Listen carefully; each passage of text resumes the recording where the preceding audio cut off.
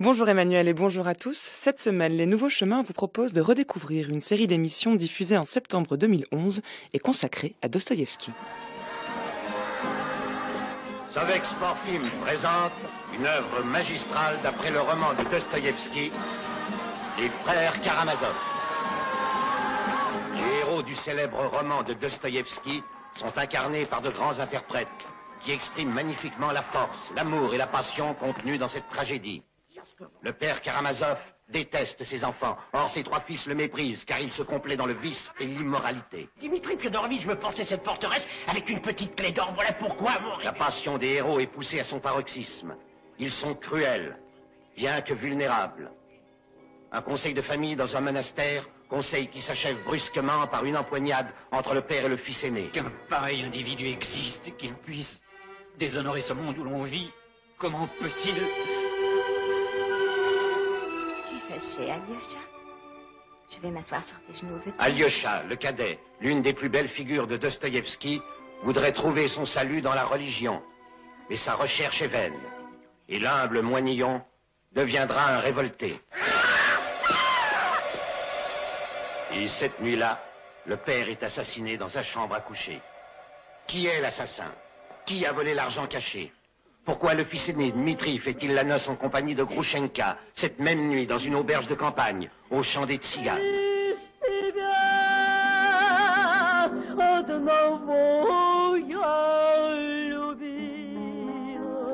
Tout est permis, rien n'est sacré. Telle est la devise d'Ivan Karamazov. Un procès mouvementé, la démence d'un témoin important, le suicide d'un autre témoin, bouleverse tout ce que l'instruction avait révélé. Mais la sentence fatale est prononcée et par son jugement, le tribunal brise en même temps plusieurs existences. Une production Mosfilm URSS.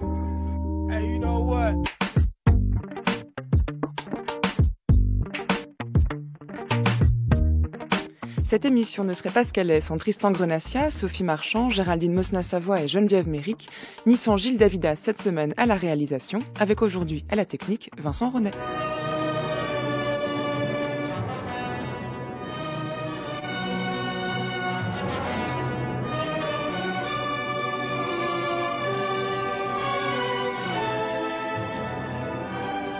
Après l'idiot et crime et châtiment, c'est-à-dire après André Markovitz lundi et Jean-Louis Baquès hier mardi, c'est aujourd'hui d'un troisième monstre engendré par Dostoïevski que nous allons parler, le dernier d'entre eux, le plus musical, le plus philosophique et le plus volumineux aussi, celui qui fonde la culpabilité sur le parricide originaire et qui incarne les corps au point de faire puer un cadavre sur plusieurs chapitres.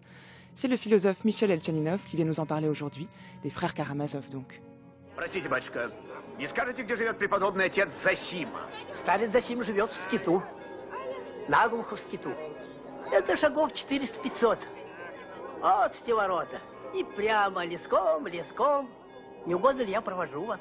Премного вам благодарен. Bonjour Michel Elchaninov. Bonjour. La bande-annonce que nous avons entendue laissait, euh, laissait entendre toute la passion, euh, le crime, le procès, tout ce qui allait avoir lieu dans les frères Karamazov. Et pourtant, le roman commence, et on entend l'extrait ici même, s'il est en russe, dans un monastère. Oui, le, le roman euh, commence dans un monastère. Euh, Dostoïevski est allé visiter un célèbre monastère euh, en 1878, Optino, euh, à quelques 200 kilomètres de Moscou. Et c'est un monastère un peu particulier, puisque dans ce monastère euh, vivaient des, ce qu'on appelle des starets, c'est-à-dire des pères spirituels qui vivaient un peu à l'écart et qui avaient une sorte de, charisme très important. Et Dostoïevski est allé voir un starets et il s'en est inspiré pour euh, effectivement ouvrir son roman dans un monastère. On ne sait pas exactement où c'est, pas très loin de Moscou, quelque part en Russie, dans un monastère où vit un starets qui va bientôt mourir et où un jeune homme, Alyosha Karamazov, qui sera le héros du roman, en tout cas un des héros, a décidé de devenir novice. Alyosha, qui est donc l'un des quatre frères Karamazov, puisque rappelons-le, enfin, nous sommes le, dès maintenant, il y a donc trois frères légitimes, Mitya, Ivan et Alyosha, et un, et un, ce qu'on peut appeler un bâtard, un fils illégitime en tout cas. hein. Voilà, comme, comme les trois mousquetaires, ils sont quatre, c'est-à-dire qu'il y a l'aîné Dimitri, euh, jeune homme euh, passionné, euh, prêt à, au pire vilainie comme, et au pire bassesse comme à des actes de générosité absolument insensés.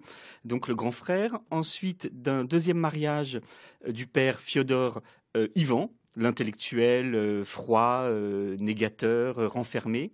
Et ensuite, le troisième frère euh, le troisième fils légitime, Alyosha, celui donc qui décide de devenir novice dans ce monastère, sans oublier ce qu'on découvre assez rapidement dans, ce qu'on découvre rapidement dans le roman.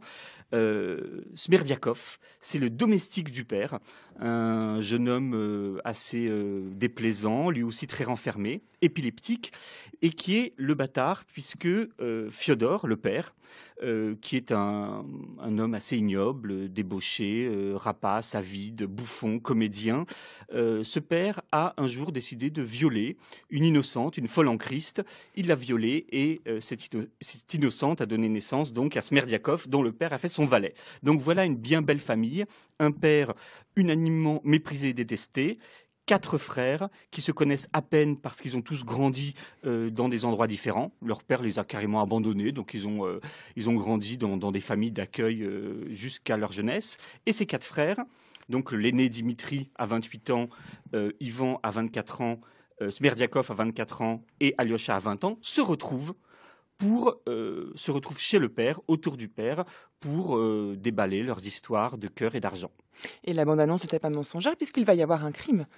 Et ça, on l'apprend assez rapidement dans le roman, puisque Fedor, donc c'était assez intéressant d'ailleurs de remarquer que c'est le même prénom que celui de Dostoïevski lui-même, Fedor va être tué, le père va être tué, et s'en suivra euh, pendant une longue, longue partie du roman tout un procès euh, qui va être l'occasion pour Dostoïevski de prendre position par rapport à la justice de son temps, au principe de la justice de son temps, ce qui donne lieu d'ailleurs à des réflexions euh, là proprement philosophiques pour le coup, et, qui, et, qui, et qui donc ouvre ce roman qui part dans un contexte plutôt religieux, vers cette question-là de la justice. Voilà, c'est-à-dire qu'en fait, il y, a un contexte, religieux parce que c'est un roman sur la Russie contemporaine et il y a des questions religieuses qui se posent.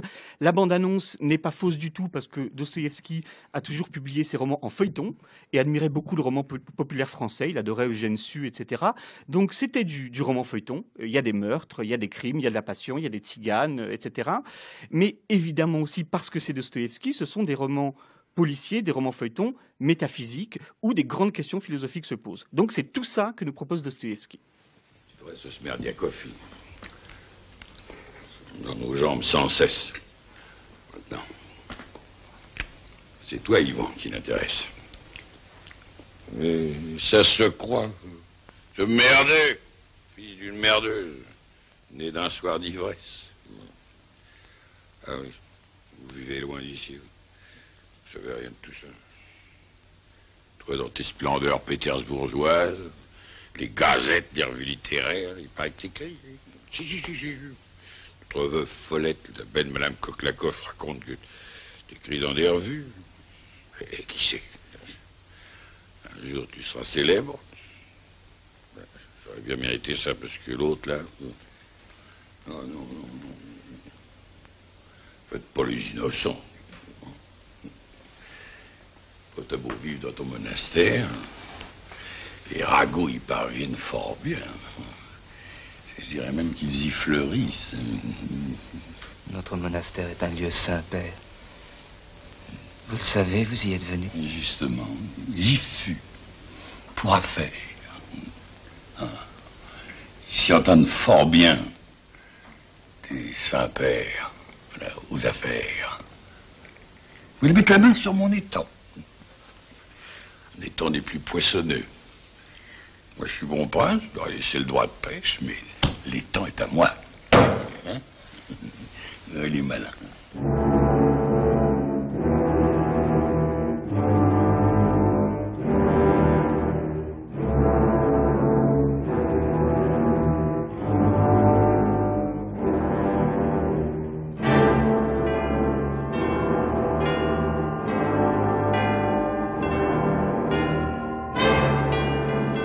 Pas les innocents, dit euh, le père Fiodor, donc en l'occurrence euh, Pierre Brasseur, hein, qui interprète le rôle du père dans le film de Marcel Bluval qui date de 1969. Faites pas les innocents, dit le père à ses fils, sans savoir évidemment que l'un des fils va finir par le tuer. Tout à fait. Et, mais faites pas les innocents, c'est ce que pourrait dire également Dostoïevski. Euh, Dostoïevski ne, ne, ne, croit pas vraiment ni à l'innocence des enfants, euh, ni à l'innocence des, des, personnes apparemment morales. Dostoïevski sait que sous toutes ces apparences, il y a euh, énormément d'intentions cachées, de jouissances secrètes, de rancœur. Et c'est tout cela, effectivement, qui, à son contact, va se réveiller. Et l'un des quatre fils, effectivement, va le tuer. Alors cette question du parricide est intéressante puisqu'elle permet à Dostoïevski d'ancrer de manière très précise et de manière essentielle la question de la culpabilité qu'on a vu, euh, hein, qu'on a les, jours précédents en parlant de l'idiot lundi et de crime et châtiment hier, puisque le parricide, si l'on en croit notamment la lecture que, Freud propose euh, des frères Karamazov, le parricide et cet acte originel qui fonde la culpabilité de l'homme. L'homme, la civilisation ne s'est développée qu'à partir du moment où l'on a, tué le père. Et donc cette, euh, cette question du parricide, indépendamment de l'aspect euh, roman policier et, euh, le procès auquel cela va donner lieu, euh, permet, il me semble, à Dostoïevski de, vraiment d'ancrer cette réflexion sur la culpabilité, Michel Tchaminov. Alors, d'abord, il faut savoir que cette question du, parricide et de la culpabilité par rapport à la mort d'un père, c'est une question qui est apparue très tôt dans la vie de Dostoïevski, puisque euh, Dostoïevski n'a que 17 ans lorsqu'il apprend que son propre père euh, a été euh, assassiné par ses serfs, par ses paysans. le père de Dostoïevski, depuis la mort de, de, sa femme était devenu euh, euh, alcoolique, euh, violent, s'était retiré sur ses terres et les paysans le détestaient. Et Dostoevsky, à 17 ans, il apprend qu'il a été tué par les paysans. D'ailleurs, il n'y a pas eu de procès, finalement, il n'y a pas eu de, châtiment pour ce crime. Et Dostoevsky, dans la seule lettre que l'on connaisse où il évoque ce, ce meurtre, écrit cette phrase L'homme est un mystère.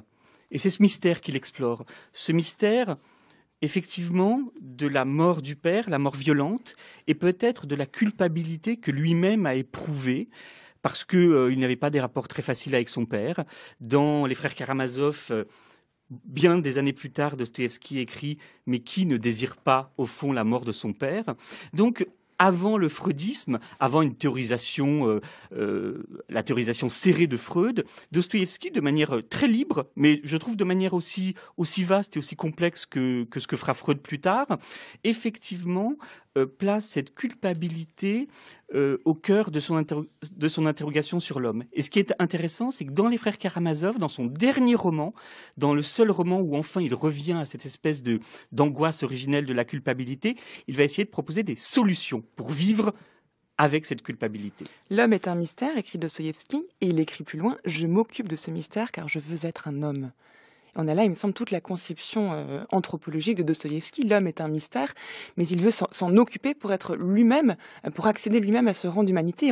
Il me semble qu'on peut voir ça comme presque la profession de foi du, de Dostoïevski, romancier. Il écrit des romans pour s'atteler à ce mystère et lui-même se sentir homme. C'est ça. Et, il va explorer toute sa vie ce mystère à travers des échecs comme celui de l'idiot, des, drames comme celui du, du nihilisme des démons.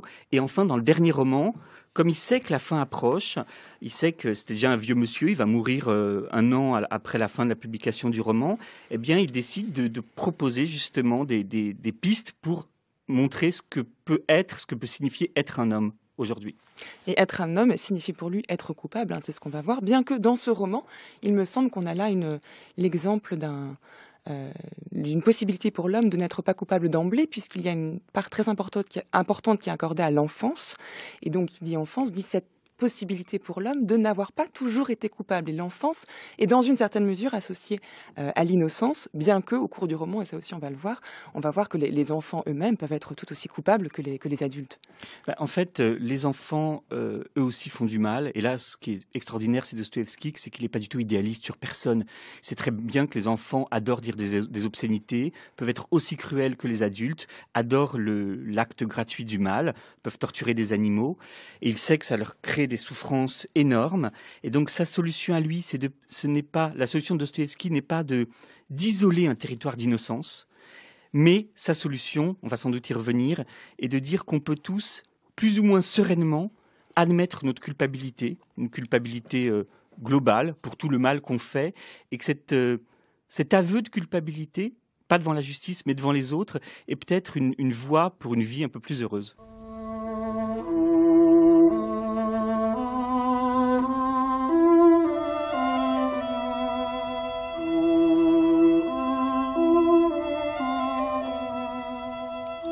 Au moment même où Krasotkin ouvrit la porte et apparut dans la pièce, tout le monde, le capitaine et les garçons, s'étaient massés autour du lit du malade et examinaient un minuscule chiot de molosse qu'on venait juste d'apporter. Un chiot juste né la veille, mais qui avait été commandé une semaine à l'avance par le capitaine pour distraire et consoler Ilyusha, toujours rongé d'angoisse à propos de Yuchka, son chien qui avait disparu et qui bien sûr à présent était mort. Mais Ilyusha, qui avait entendu dire et avait appris depuis trois jours qu'on allait lui offrir un petit chien, et pas un petit chien tout simple, mais un vrai molosse, ce qui bien sûr était d'une importance terrible, avait beau montrer, par la finesse et la délicatesse de ses sentiments, qu'il était content de ce cadeau. Tout le monde, le père et les garçons, avaient clairement vu que ce nouveau petit chien n'avait peut-être que remué encore plus fort dans son petit cœur ses souvenirs sur Yuchka qui l'avait torturé à mort. Le petit chien gisait et gigotait auprès de lui, et lui, avec un sourire douloureux, le caressait de sa petite main fine, pâle, desséchée. On voyait même que le petit chien lui avait plu, mais Yuchka n'était toujours pas là. Ce n'était toujours pas Yuchka. Et s'il y avait eu Yuchka et le petit chien en même temps, là, le bonheur aurait été complet.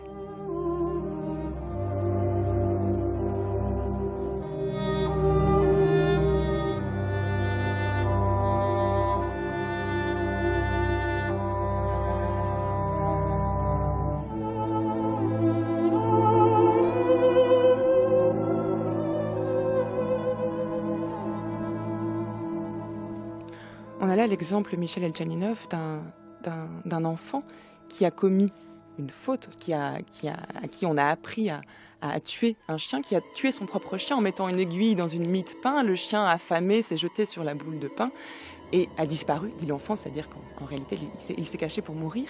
Et Ilyusha, qui est l'enfant en question, va, va véritablement mourir de sa culpabilité. Cette culpabilité d'avoir tué son propre chien va le tuer. Michel Elchaninov.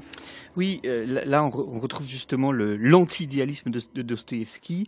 Les, tourments du mal et de la culpabilité touchent vraiment les enfants. Et ce qui est très intéressant dans Les Frères Karamazov, c'est qu'il y a beaucoup de, chapitres, et même une partie entière, qui concerne la vie d'un groupe d'enfants euh, avec euh, ses drames, ses réconciliations et sa réconciliation finale, euh, bien heureusement, grâce à Alyosha le novice. Ilyusha est le fils d'un capitaine pauvre, humilié, euh, furieux contre la vie et le monde. Et ce capitaine, donc le père d'Ilyusha, lui transmet cette haine, cette haine des autres, cette haine de, de toute réconciliation possible. Et Ilyusha, c'est ça qui est terrible, reproduit et exagère cette souffrance morale de son père, c'est-à-dire qu'il est euh, humilié, donc haineux, et que quand on essaye de le consoler, il peut devenir encore plus haineux et encore plus énervé. Et c'est typiquement le type de, c'est typiquement le, le, le, les tourments moraux que, qu'aime décrire Dostoïevski. Euh, pour Dostoïevski, on ne peut pas, il ne suffit pas de racheter une faute. Ça ne suffit pas. Parfois, et c'est ça qui fait notre liberté, la liberté humaine, parfois on peut refuser le, pardon, on peut refuser l'excuse, on peut refuser le cadeau, parce qu'on ressent encore trop de haine, contre les autres et contre soi. Contre soi, en fait, contre la culpabilité qu'on porte. Et donc, cette, cette sorte de cercle vicieux moral est un des, des traits euh, psychologiques qu'aime décrire Dostoïevski, qui le fait de manière, à mon avis, totalement neuve dans l'histoire de la littérature et dans l'histoire de la psychologie en général. Et toute la question, c'est comment en sortir. Et effectivement, offrir un nouveau chien, ça peut ne pas suffire. Donc, il faut retrouver des rapports humains qui sortent du négoce du, de la faute et du pardon et qui permettent de, effectivement, comme on le disait tout à l'heure, de faire qu'on puisse devenir un homme, c'est-à-dire qu'on puisse sortir de cette haine de soi. Et toute la quête de Dostoïevski, c'est comment sortir de cette haine de soi. Et il propose plusieurs pistes dans le roman. Et justement, pour sortir de cette haine de soi, il me semble que l'une des choses que Dostoïevski propose, alors de manière euh, euh, implicite, hein, c'est de ne jamais trancher. Les, choses ne sont jamais aussi simples euh, que l'on croit. Il n'y a pas d'un côté le bien, de l'autre le mal. Et on l'a vu aussi, c'est cette, cette, fausse opposition entre le bien et le mal, en tout cas cette opposition qui est sans cesse dépassée chez Dostoïevski, se retrouve également dans l'opposition entre l'innocence et la culpabilité, et entre le pessimisme et l'optimisme. On a tort de penser que Dostoïevski est un auteur pessimiste, lourd. Au contraire, il y a beaucoup de moments où, où il laisse présager une fin heureuse, une suite qui soit heureuse, mais qui est toujours teintée d'un doute. Hein. On a là cette espèce d'ouverture indécidée. Ouais. Euh, Dostoïevski ne décide pas, ne tranche pas. Alors c'est ça vraiment aussi son, sa nouveauté littéraire, le, le, le théoricien de la littérature Mikhail Bakhtin, dans les années 20, euh, essaye de nous démontrer que Dostoevsky a créé un nouveau type de roman, le roman polyphonique, c'est-à-dire le roman où l'auteur n'est pas omniscient et ne dirige pas tous les personnages et toutes les actions des personnages vers ce qu'il a envie de leur faire faire. Dostoevsky est face à, une, réalité extrêmement diverse, extrêmement complexe, et il laisse tout le monde s'exprimer. Il y a un des, chapitres, un des livres des frères Karamazov qui s'intitule Pro et Contra, pour et contre il laisse parler les deux. Et finalement, on s'aperçoit que les romans dostoïevskiens ont toujours des fins ouvertes. La fin des frères Karamazov est ouverte. Euh, on ne sait pas ce qui va arriver. Euh, on ne sait pas ce qui va arriver aux principaux personnages. Et c'est ça son talent, c'est de laisser euh, effectivement exprimer des options, des options philosophiques, des options psychologiques, mais de jamais conclure. Dostoïevski n'est jamais dans la dialectique. Pour lui, ça serait trop facile. Il laisse au lecteur le soin d'en comprendre ce qu'il veut, ce qui fait que l'interprétation de ces romans est d'ailleurs complexe et qu'on peut les comprendre dans des sens euh, tout à fait opposés. Et euh, surtout, il montre qu'effectivement les choses s'entremêlent. Euh, il n'est ni pessimiste ni optimiste. Il y a des personnages lumineux. On a dans Les Frères Karamazov, on a le, vieux Starets Zosim, personnage lumineux, mais qui va mourir rapidement. On a un autre personnage lumineux, c'est Alyosha Karamazov, mais dont on ne connaît pas le destin. Et d'ailleurs, dans un entretien avec un journaliste, Dostoïevski avait laissé entendre que son héros Alyosha pourrait devenir un révolutionnaire lui-même, voire un régicide euh, qui pourrait tuer l'empereur, sorte de parricide, symbolique euh, euh, très fort. donc on a des personnages lumineux, on a des personnages sombres, comme, évidemment Ivan, qui se retire dans sa claustrophobie spirituelle. Et le talent de Dostoïevski, justement, c'est de nous, nous les montrer, de les opposer, mais ne jamais conclure au sein, les montrer, les opposer au sein d'une structure romanesque euh, qui, en l'occurrence, dans les frères Karamazov, est particulièrement euh, frappante, puisque, euh, on l'a vu, maintenant on le sait, il y a d'un côté le monastère, de l'autre la famille Karamazov, et enfin les écoliers. On a là vraiment trois, trois thèmes majeurs qui, habitent l'esprit de l'écrivain au moment où il écrit, qui sont à la fois la foi orthodoxe hein, pour le monastère, les enfants qui sont donc criminels et victimes, et enfin le parricide ces trois, ces trois thèmes sont comme, un, sont comme trois, trois, trois instruments différents d'une même symphonie avec un motif unissant, peut-être la mélodie, qui est Alyosha. Vous avez euh, juste évoqué l'importance d'Alyosha. Peut-être on peut considérer ce personnage comme étant ce, motif qui vient unir là ces, ces, différents instruments. Effectivement, Alyosha fait le lien entre les trois univers, puisque Alyosha est un cœur pur, il aime beaucoup les enfants, il s'en occupe. Alyosha veut être novice dans le monastère, il s'y installe avant d'avoir pour mission de revenir vers le monde, parce qu'Alyosha ne veut pas s'enfermer dans un monastère. En tout cas, sa mission n'est pas de s'enfermer dans un monastère. Et Alyosha essaye de réconcilier ses frères. Euh, il n'y arrive pas vraiment. Et il essaye d'empêcher un meurtre. Il n'y arrive pas non plus. Euh, donc Alyosha est effectivement le personnage qui fait le lien, mais en fait ce qui est très intéressant, ce qui est très fin dans la structure du, du roman, c'est qu'en fait toutes ces parties se répondent. C'est-à-dire que ce qui échoue dans la famille Karamazov, c'est-à-dire une réconciliation finalement, le sentiment de faire partie d'une seule et même famille, eh bien, peut être euh, résolu chez les enfants. Chez les enfants, il y a des moments dramatiques, mais à la fin, il y a une réconciliation.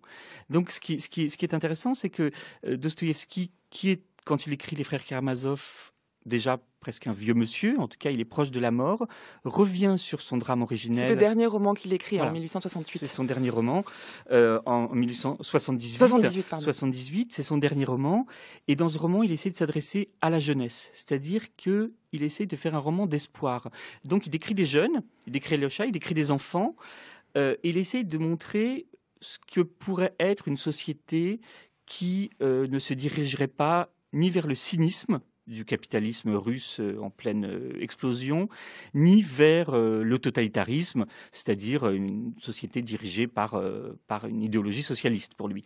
donc il essaie de montrer que chez ces jeunes, il y a une force qui peut être destructrice, mais qui peut se muer aussi en force constructrice d'une société nouvelle. C'est pour ça qu'il mêle ses motifs et qu'il montre les échecs et les potentielles réussites de ce monde qu'il décrit. Mais plus que dans ses, autres romans, dans les romans précédents, euh, Dostoïevski, au sein des frères Karamazov, exprime un questionnement. Alors, je ne sais pas s'il prend position, mais en tout cas, il donne les éléments pour et contre euh, qui permettent de réfléchir à un questionnement essentiel, qui est le problème du mal euh, sur la terre, du mal chez, les hommes, et donc cette opposition entre la justice humaine et la justice divine. Et cela, c'est exprimé par un dialogue entre, entre Alyosha et, et Ivan, où, euh, où Yvan euh, montre bien que, le mal quelles que soient les raisons qui peuvent conduire quelqu'un à agir, de, euh, façon coupable, le mal n'est jamais, jamais excusable et que la douleur d'un enfant est absolument injustifiable. Écoutez. Mais voilà pourtant les petits-enfants. Et là, avec eux, qu'est-ce que je fais? C'est une question que je suis incapable de résoudre. Je le répète pour la centième fois, des questions, il y en a des milliers, mais je n'ai pris que les petits-enfants parce que là, ce qu'il faut que je dise devient d'une clarté imparable. Écoute, si tout le monde doit souffrir pour que cette souffrance achète une harmonie universelle, les enfants, eux, ils y sont pourquoi Dis-moi, s'il te plaît. On ne comprend pas du tout pourquoi eux aussi ils doivent souffrir et pourquoi eux ils doivent acheter l'harmonie par la souffrance. Pourquoi eux aussi ils se sont retrouvés comme matière servant de fumier en eux-mêmes à je ne sais quelle harmonie future? La solidarité des hommes dans le péché, c'est une chose que je comprends. Je comprends aussi la solidarité dans la vengeance. Mais cette solidarité dans le péché, elle ne s'étend pas tout de même jusqu'aux petits-enfants. Et si la vérité est que, réellement, eux aussi, ils sont solidaires de leur père dans tous les crimes de leur père, alors évidemment, cette vérité-là n'est pas de ce monde, et moi, elle me reste incompréhensible. Il y a peut-être un plaisantin qui pourra dire que de toute façon, l'enfant, il grandira et il aura le temps de pécher.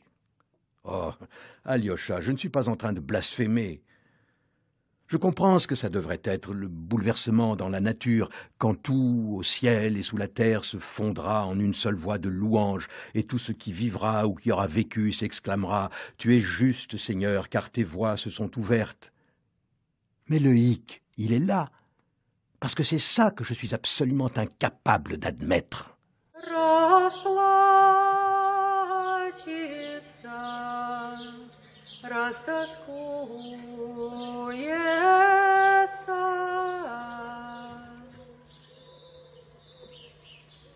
山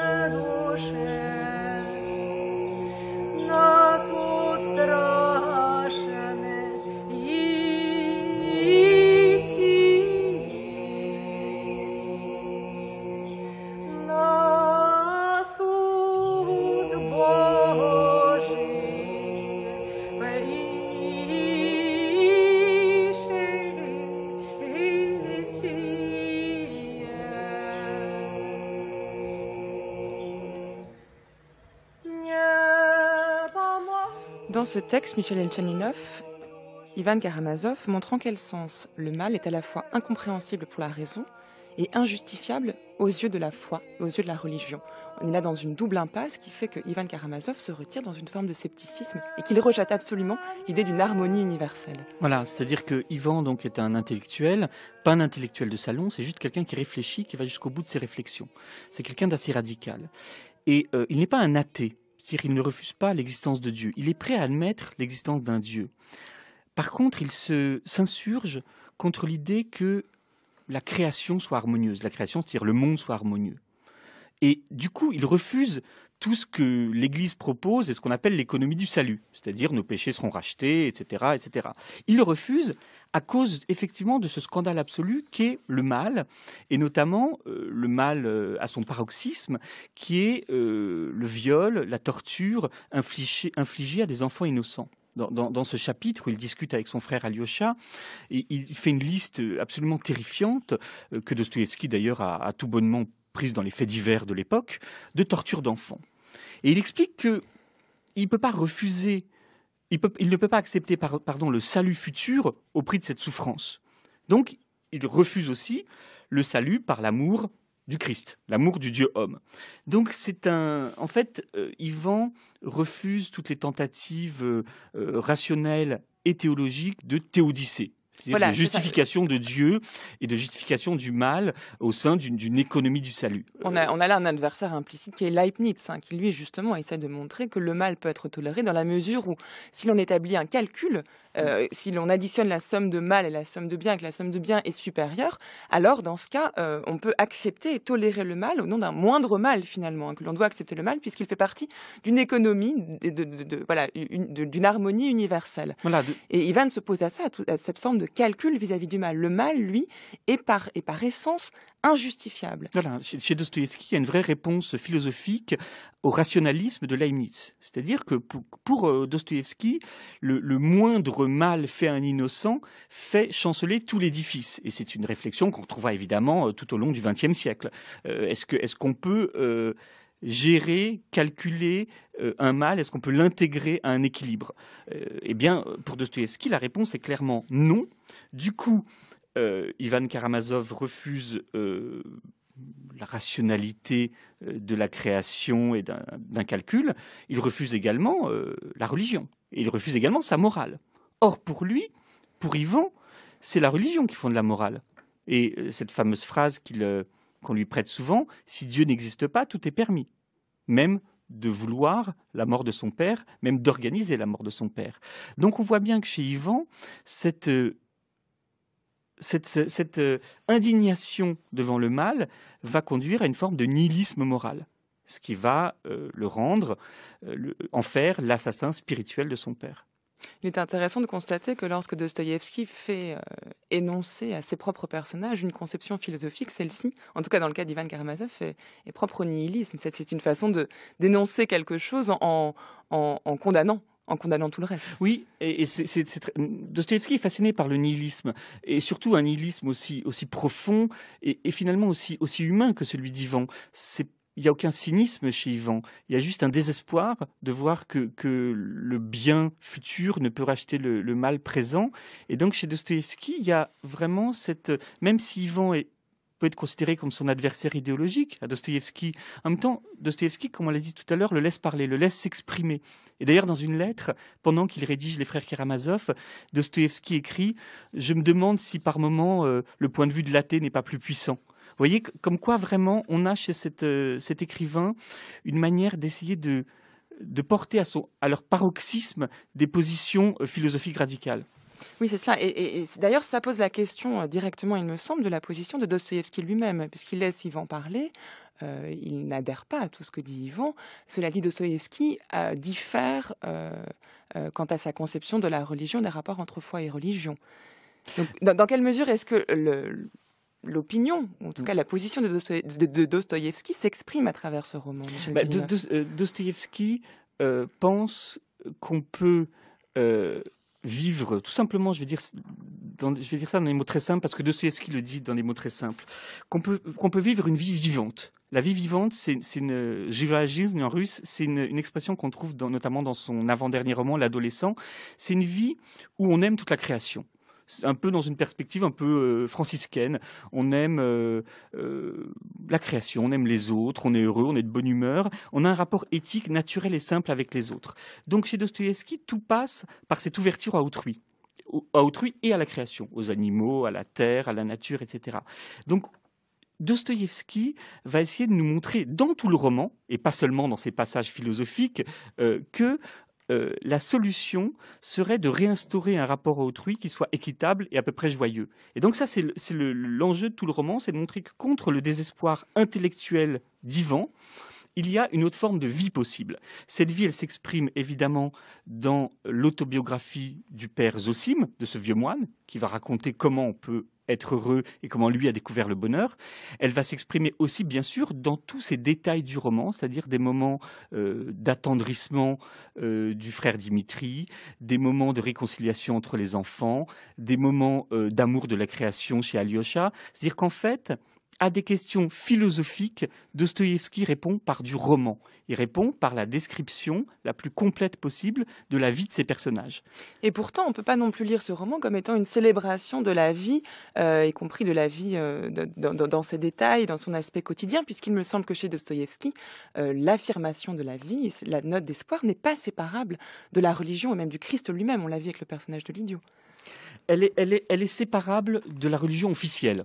C'est-à-dire que Dostoïevski, euh, quand il était jeune, euh, comme il le dit dans, une, lettre euh, à sa sortie de bagne, est passé par l'épreuve du doute. C'est un enfant de son siècle. Dostoïevski a douté.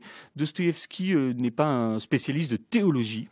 Dostoïevski essaye d'inventer une solution chrétienne pour des temps modernes. C'est-à-dire pour des temps où la liberté est la valeur absolue, pour des temps où on n'a plus envie de vivre l'aliénation religieuse, on n'a plus envie de vivre la religion comme une obligation, comme une aliénation, des temps où de nouvelles idéologies font surface. Bref, Dostoïevski essaye d'inventer une formule qui certes est chrétienne, mais qui surtout pour lui une formule de vie accomplie, de vie, de plénitude de vie. Dostoïevski, avec sa seconde femme, a vécu la plénitude. Il a été très heureux en ménage, très heureux en couple, il aimait ses enfants, il avait une sorte de puissance vitale euh, qui l'a rendu heureux. Cette puissance vitale-là, évidemment, il l'interprète de manière chrétienne. Oui, il écrit quand même, hein, euh, si quelqu'un me prouvait que le Christ est hors de la vérité, je préférerais demeurer avec le Christ qu'avec la vérité. Oui, alors ça, c'est une, formule aussi qui apparaît dans Les démons. Euh, c'est une formule, euh, là encore, anti On la trouve aussi dans la lettre hein, que vous citiez Voilà. tout à l'heure. Donc c'est la lettre où il dit qu'il est un enfant du siècle, un enfant de l'incroyance et du doute jusqu'à ce jour et même, je le sais, jusqu'au tombeau. Voilà. Et malgré ça, malgré ce qui paraît être un athéisme euh, jusqu'au bout, il, il affirme que s'il avait le choix entre la vérité et le Christ, il choisirait le Christ. Parce que pour lui, la vérité s'impose. Or, chez lui, il y a une telle exaltation de la liberté que ni religion ni vérité ne peuvent s'imposer. En revanche, choisir, c'est choisir une personne vivante, donc le Christ, pour lequel il a une admiration euh, toute sa vie. D'abord une admiration un peu euh, laïque, puis une admiration un peu plus religieuse. Mais en gros, il s'agit de choisir entre une vérité logique qui s'impose, euh, ça peut être le socialisme scientifique, l'utilitarisme, la théorie de l'agent rationnel en économie. Choisir entre une vérité qui s'impose et une vie intersubjective, c'est-à-dire la relation avec un autre être, symbolisé chez lui par le Christ, c'est-à-dire un être euh, bon et parfait, mais surtout une relation bonne et parfaite. Donc quand il dit ça, Dostoïevski, vraiment ici, euh, montre qu'il y a une bifurcation entre euh, l'imposition d'une logique et le choix de relations humaines. Et c'est pour ça d'ailleurs qu'il n'écrit pas des traités de philosophie, qu'il écrit des romans. Donc ce qu'il faut bien comprendre, c'est Dostoïevski a des options philosophiques à proposer, mais ces options philosophiques ne peuvent passer que par du roman, parce qu'il fait une sorte d'apologie de la vie. Et parce que le roman lui permet de ne pas conclure et de ne pas aboutir à une conclusion univoque. L'un des, vous avez dit que Dostoïevski fait des romans et non pas de la philosophie. On l'a dit également que dans Les Frères Karamazov, il y avait euh, peut-être plus que dans les autres romans un questionnement philosophique explicite, abouti, et euh, cela passe notamment par ce fameux discours du grand inquisiteur que Ivan raconte à son frère euh, Alyosha. Écoutez. Tu es fier de tes élus, mais tu n'as que des élus, alors que nous, nous apaiserons chacun. Et même, combien y en a-t-il eu parmi tous ces élus, des hommes forts qui auraient pu devenir des élus, qui ont fini par se lasser de t'attendre et ont porté et porteront encore toute la force de leur esprit, tout le feu de leur cœur vers une autre carrière, et finiront par lever contre toi une bannière libre? Cette bannière, c'est toi qui l'as levée. Chez nous, non. Chacun sera heureux. Personne ne se rebellera.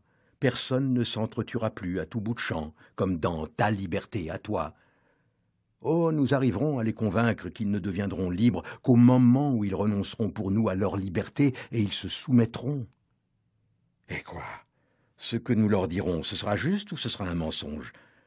Ils comprendront eux-mêmes que nous avons raison, car ils se rappelleront jusqu'à quelles horreurs d'esclavage et de troubles ta liberté aura pu les pousser. La liberté, la liberté de l'esprit, la science les conduiront jusqu'à de tels labyrinthes, les placeront devant de tels miracles, de tels mystères inexpliqués, que quelques-uns d'entre eux, les insoumis et les farouches, s'élimineront eux-mêmes. Les autres, insoumis mais plus faibles, s'élimineront les uns les autres. Et les troisièmes, ceux qui seront restés, les faibles et les malheureux, ramperont à nos pieds en criant Oui, vous aviez raison, vous étiez seul à détenir son mystère, nous revenons vers vous, sauvez-nous de nous-mêmes. Cette rencontre entre l'inquisiteur d'un côté et le Christ de l'autre permet d'exposer deux conceptions différentes de la liberté, puisque l'inquisiteur euh, explique au Christ pourquoi l'homme dénué de liberté, à qui l'on enlève sa liberté, est plus heureux que l'homme libre. Et donc pourquoi la liberté spirituelle que le Christ a voulu offrir aux hommes ne peut entraîner que leur misère et leur désarroi. Et là, je renvoie à ce que l'on disait hier, hein, quand on parlait de crime et châtiment avec Jean-Luc Bacchès, la liberté humaine est à la fois ce qu'il y a de plus précieux, mais ce qui peut conduire au mal. Et l'argument de l'inquisiteur euh, est légitime, se tient. Michel Oui, c'est l'argument d'Ivan. Euh, pour pour euh, bien comprendre pourquoi apparaît ce discours du grand inquisiteur, revenons à, à- à ce que raconte Ivan sur le scandale du mal. Euh, il dit Je refuse euh, qu'on puisse racheter le mal. À ce moment-là, Alyosha, son frère, lui oppose ce qu'on appelle en théologie l'argument de la croix. Alyosha lui dit Si, il y a un être qui peut pardonner toutes les atrocités vécues par, le- par les hommes, c'est le Christ lui-même, parce qu'il a été martyrisé et qu'il a tout de même pardonné à tous les hommes. Donc, le Christ, lui, peut tout pardonner parce qu'il a versé son sang innocent. Donc, le scandale du mal peut être racheté de l'intérieur par euh, le martyr du Christ. Donc, argument théologique fort opposé à Ivan. À ce moment-là, Ivan, comme s'il avait prévu la réponse, lui sort quelques feuillets, ils sont dans un cabaret, lui sort quelques feuillets, il dit, tu sais, j'ai composé un- une sorte de, poème, enfin c'est pas vraiment un poème, c'est le synopsis d'un poème qui s'appelle Le Grand Inquisiteur, où je vais donner une réponse définitive à ton argument du Christ sauveur du monde parce qu'il a lui-même souffert. Et son argument est le suivant, le Christ est venu apporter non la, non la paix, mais la souffrance au monde, parce qu'il leur apporte la liberté. La liberté comme un cadeau empoisonné. Comme un cadeau empoisonné. Et donc, Yvan, euh, à ce moment-là, déploie un très beau récit symbolique. Euh, on- nous sommes au XVIe siècle, à Séville, et le grand inquisiteur, tout d'un coup, euh, voit revenir le Christ parmi la foule. Évidemment, immédiatement, il le fait emprisonner. Et euh, il essaye de lui démontrer, au fond de son cachot, du cachot où il a jeté le Christ, que euh, finalement le peuple est beaucoup mieux sans le Christ, mais avec l'Église, et beaucoup mieux sans cette liberté de faire le bien et le mal, euh, que- beaucoup mieux qu'avec qu'avec cette Église où tout est tranquille, où tout est racheté. Donc, euh, Yv- Yvon explique par la, voix du grand inquisiteur que la liberté effectivement est porteuse de souffrance. C'est le petit Ilyusha dont on parlait tout à l'heure. Il a eu la liberté de faire mourir un chien, il a la liberté de refuser un cadeau, il a la, liberté de toujours se sentir coupable, alors que une structure comme l'Église ou comme un État totalitaire vont apporter de la paix. C'est ce que j'allais dire, c'est l'argument de base du totalitarisme, hein, dire que l'homme est plus heureux s'il renonce à sa propre liberté au nom d'un bonheur collectif. Voilà, et c'est exactement ici ce, que, ce à quoi pense Dostoïevski, c'est-à-dire une société qu'il appelle, euh, lui, le palais de cristal, c'est-à-dire une société parfaite où le mal serait expliqué par des raisons, par exemple, euh, sociales et scientifiques. Si vous avez fait le mal, c'est que vous étiez dans une euh, position sociale difficile, donc le mal n'est qu'une protestation contre votre condition sociale. Donc il n'y a plus à souffrir du mal qu'on commet librement, tout peut être expliqué. Euh, dans le cas de l'inquisiteur, nous sommes dans le cadre du- du- d'une église, eh bien le, mal est pardonné. Et finalement, les inquisiteurs sont les, saints du despotisme. Les inquisiteurs prennent sur eux le- le mal du peuple et, en revanche, rendent le peuple heureux. Donc, euh, pour Ivan, euh, la liberté, cette fameuse liberté euh, du Christ, n'apporte que souffrance. Et pourtant, est-ce que Yvan ne se contredit pas lui-même lorsqu'à la fin de, de- de ce récit, il raconte comment le Christ se lève et va embrasser l'inquisiteur en signe de pardon, ce à quoi l'inquisiteur ne peut rien répondre, le libère mais lui demande de s'en aller. Est-ce oui. que là, finalement, on n'a pas la victoire du Christ sur l'inquisiteur? C'est ce que, ce que- c'est ce que croit comprendre le- son frère Alyosha, qui lui dit Mais tu viens de faire un éloge du Christ, puisque le Christ, au lieu de parler, euh, agit, et agit par un geste de, de- de réconciliation. Euh, par cela, il veut dire que la liberté ne se raconte pas. La liberté euh, n'est pas un discours. La liberté est une sorte de, de puissance vitale. Et effectivement, Ivan, dans ce récit, attend quelque chose de son frère. Il attend qu'on lui dise qu'il n'est pas si désespéré, que la liberté n'est peut-être pas si inutile, que le mal, tout de même, est malheureusement le fruit à payer de la liberté humaine. Il attend cette parole de, son frère Alyosha. Mais Alyosha, qui a beau être euh, tout à fait euh, religieux, qui est un novice, n'est qu'un réaliste. Alyosha ne comprend pas du tout la portée universelle et philosophique du discours de son frère. Ni la détresse euh, psychologique de son frère. Et, et- et en cela, Alyosha est tout aussi coupable de la mort de son, de son père que ses autres frères. En effet, Alyosha devrait arrêter Ivan. Ivan est sur une pente, la pente du désespoir, la pente du nihilisme. C'est pour ça qu'Ivan ouvre son cœur à Alyosha et lui demande de l'aide. Alyosha ne le comprend pas. Il dit, mais là, tu viens de me parler des, jésuites, tu viens de me parler des catholiques, mais nous, on est orthodoxes, on n'est pas du tout comme ça. Alyosha ne comprend rien à, la, au désespoir ni à la radicalité de son frère et le laisse partir, partir vers euh, une sorte de meurtre commandité que va, euh, que va commettre. Alors, euh, on, on peut y venir. hein. Il nous Yvan. reste quelques minutes avant la fin de cette émission. Justement, Yvan, le nihiliste, l'intellectuel nihiliste, dont, dont le, le récit du grand inquisiteur n'était en réalité qu'un appel au secours euh, lancé à son propre frère, frère Alyosha.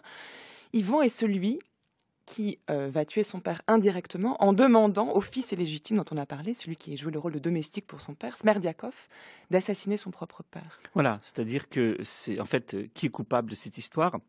Ils le sont tous. Ils le sont tous. Ils le sont tous, mais Tous ont voulu tuer leur père à Voilà. un moment ou à un autre. tous soit L'un l'a fait, mais sur les ordres de quelqu'un Voilà. d'autre. Donc Smerdiakov veut le faire parce que Smerdiakov rêve de réintégrer cette fratrie. Ce n'est qu'un bâtard, il veut devenir un frère comme les autres. Donc pour leur faire plaisir, entre guillemets, il va à demi-mot faire comprendre à Ivan qu'il va tuer le père pendant qu'Ivan s'éloignera de la propriété. Ivan, à demi-mot, fait comprendre à Smerdiakov qu'il est d'accord avec ce marché. Donc ils sont liés par un pacte où Smerdiakov sera le bras armé d'Ivan Karamazov. Dans le même temps, Dimitri, qui est un, qui est, qui est un instinctif, aurait parfaitement pu tuer le père. Il en avait l'intention. euh, il aurait pu le faire simplement. Bon, euh, au moment où il aurait pu le faire, euh, une sorte de, scrupule l'en a empêché, mais il l'a voulu. Quant à Alyosha, Alyosha c'est un pur, mais en même temps Alyosha c'est aussi un Karamazov, comme il est dit dans le roman. C'est un sensuel. C'est quelqu'un qui a cette espèce de, puissance vitale, qui peut être attiré par le vice. Et puis Alyosha, en fait, est un est quelqu'un qui essaie d'empêcher le meurtre, mais qui qui l'accélère en fait, puisqu'on vient de le dire, Alyosha avait une occasion de d'aider son frère à ne pas sombrer dans le désespoir nihiliste euh, qui entraînait la mort du père, le meurtre du père, mais n'a rien compris, ne l'a pas fait. Et finalement, le- la clé du roman, c'est qu'ils sont tous responsables de la mort du père, mais que cette responsabilité, cette culpabilité peut acquérir un sens éthique à condition effectivement que chacun de ses frères se sente responsable et admette sa responsabilité. On a donc là la volonté de, de fonder la justice humaine sur une base éthique, qui est l'acceptation de la culpabilité de tous. Voilà, c'est-à-dire qu'il y a un très beau moment du livre où Zosim cite les paroles de, de- de son petit frère qui est en train de mourir, le, le staré de Zosim, et, et le petit frère dit il faut comprendre que nous sommes tous coupables de tout devant tous. Et ça, c'est pour lui la voie du salut. C'est-à-dire qu'au lieu de chercher les coupables du point de vue de la justice, il faut comprendre que nous sommes tous capables, par notre, par notre liberté, de commettre du mal, et que la voie de la réconciliation serait peut-être justement de tous demander pardon aux autres. Sachez, leur dit-il, leur dit Alyosha, qu'il n'y a rien de plus noble, de plus fort, de plus sain et de plus utile dans la vie qu'un bon souvenir, surtout s'il provient du jeune âge, de la maison paternelle. On vous parle beaucoup de votre éducation. Or, un souvenir sain, conservé depuis l'enfance, est peut-être la meilleure des éducations. Si l'on fait provision de tels souvenirs pour la vie, on est sauvé, définitivement. Не забудь ты меня, дочь, лишь тебя одного я любила. И любовь Сберегла, как святыню. Лишь тебя одного я любила.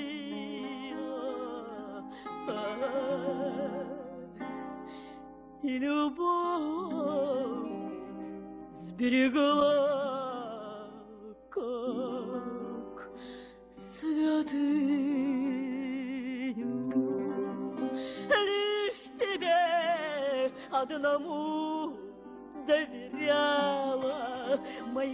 Merci Michel Elchaninov. Je rappelle que de vous, on peut lire cet ouvrage sur Dostoïevski qui s'appelle Dostoïevski, roman et philosophie, qu'on trouve aux éditions PU.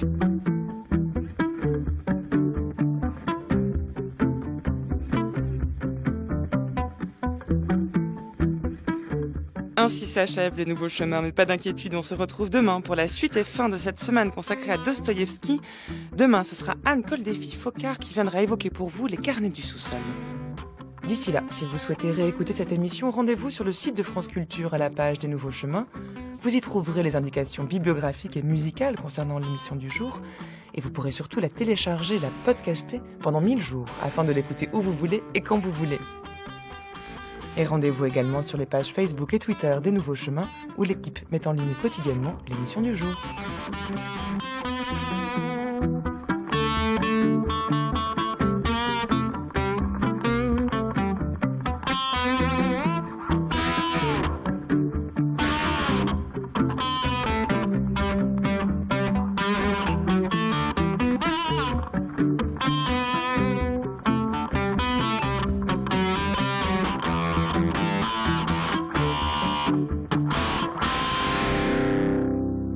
France Culture, il est 10h50. C'est l'heure de retrouver sans plus attendre Martin Kénéen pour Grand Amphi.